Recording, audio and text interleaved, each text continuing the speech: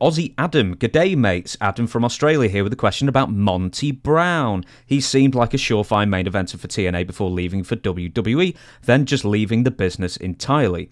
What did you think of him as a talent? Any good stories? Why uh, did he leave wrestling and he never returned? Well, I, I, don't have any stories about him, but I do remember Monty, very uh, friendly guy, great athlete, I think he played uh, on two teams that went to the Super Bowl. And then he got traded to the other team the next year. He went to the Super Bowl. And I thought he had a, a lot of upside uh, to him. And he got over in TNA pretty well.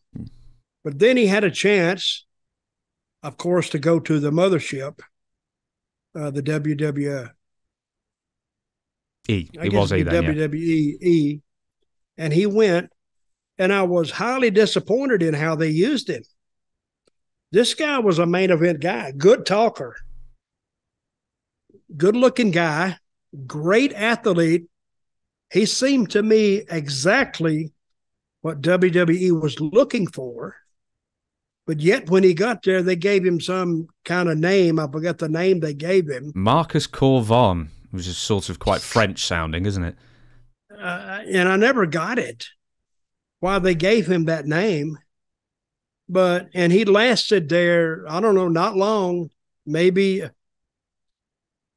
I'm going to say a year. He may have lasted more. I don't know. How long did, was he in WWE? I'd suggest, yeah, I think that's about right.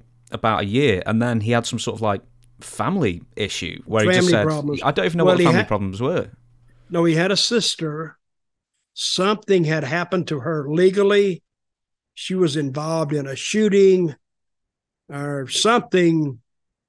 I think she was either arrested, and he had a couple more sisters, younger sisters, and I don't know where their parents were or Monty's mother and father.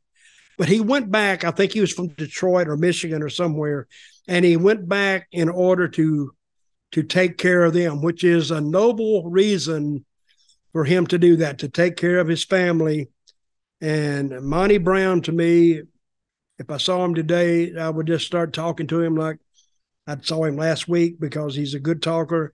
And I considered him a friend. And he had his upside in wrestling was I thought he could go just as far as he wanted to go. I would like to see a Monty Brown and a Rock together right now mm. because I think they would fit.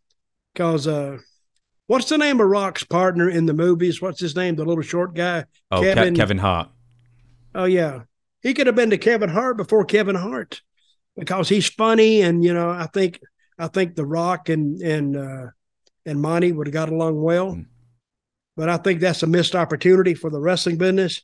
But of course, if, if he left it for those reasons to take care of his family, more power to him. Yeah, I think you're right. I, I liked his finisher. I liked I liked him absolutely. I thought he uh, had tons of upside. Um, I'm going to just tell you this: uh, Saginaw, Michigan. You were right there; it was Michigan, and the two teams he played for were the Buffalo Bills and the New England Patriots.